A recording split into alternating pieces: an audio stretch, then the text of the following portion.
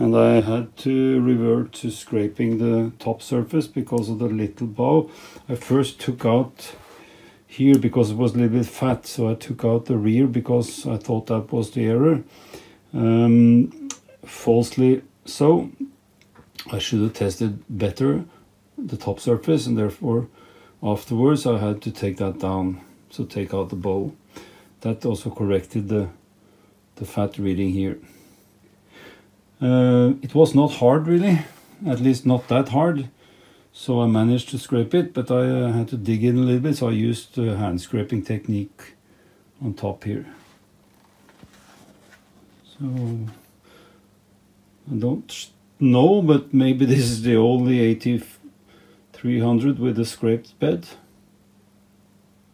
At least that I have seen.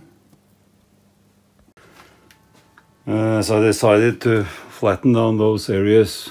I mean the bed was a little bit dipping in the middle not by much but at least it's uh, sufficiently soft to be scraped actually. So that much to be said about a hardened bed. Anyway I reverted to some hand scraping to get rid of this almost flat blade.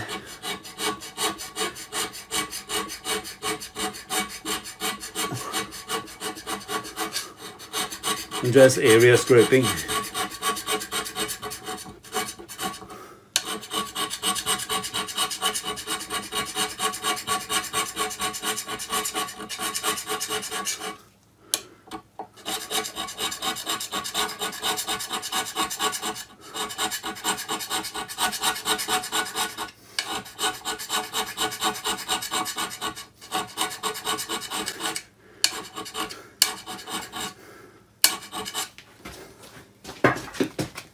Taking this from the other side.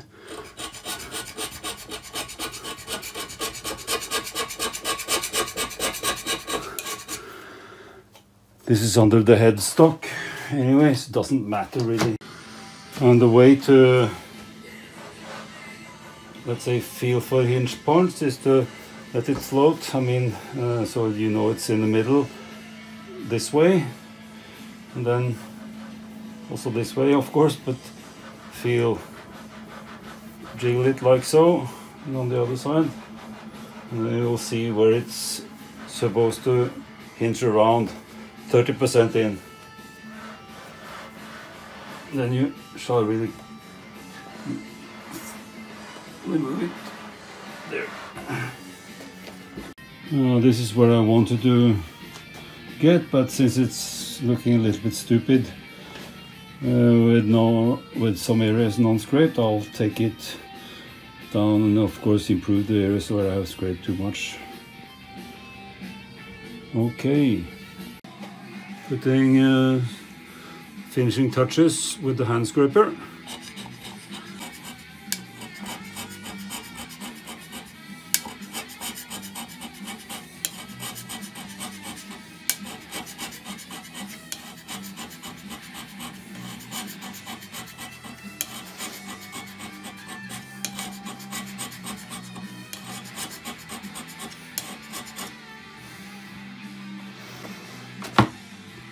I'm just trying to make a, a, pattern on top here, not trying to remove every blue spot now.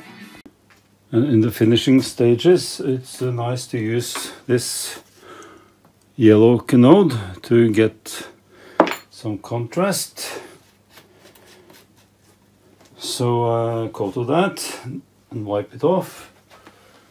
And then the bluing.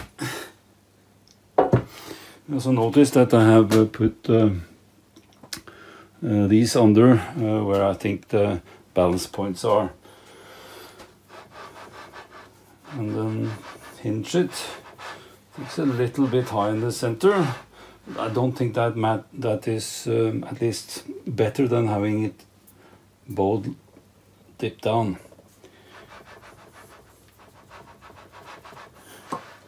Then we have a little bit to go on if it's bowed the other way. But anyway. And then do it up.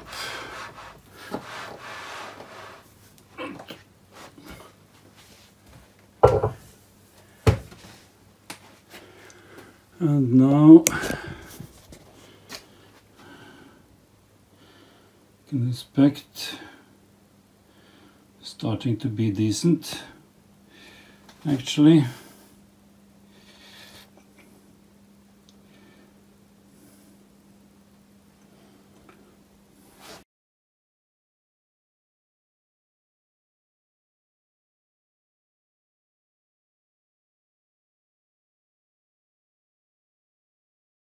So now testing the bed really after having scraped it on top and on the sides and the dovetails and I've been using this sled here which has uh, two contact points here and then run it up and down.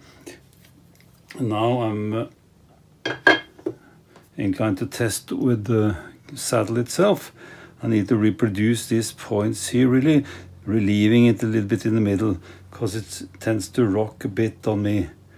At least it's probably better to relieve the center to have these pads.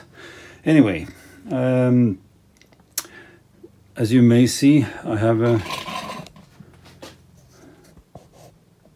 an indicator that follows so it drags and it's a indicate like this and I've mounted it so I have pressure on the dovetail like so and I move it in this direction. I could also and have used this type of indicator just plunging in but this will tend to to be a little bit more nervous. The best way would probably be to use a button indicator here or a button tip. Anyhow, this is my setup now.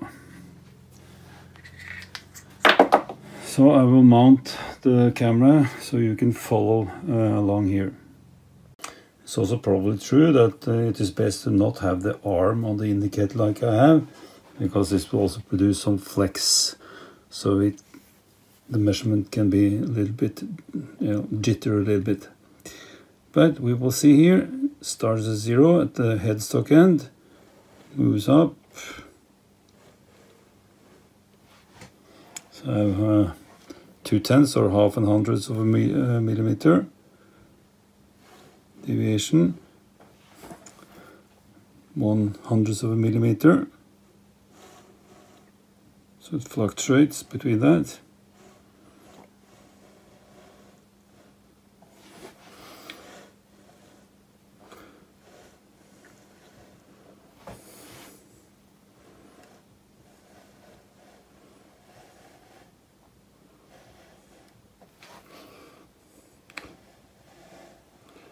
This is now the end travel here.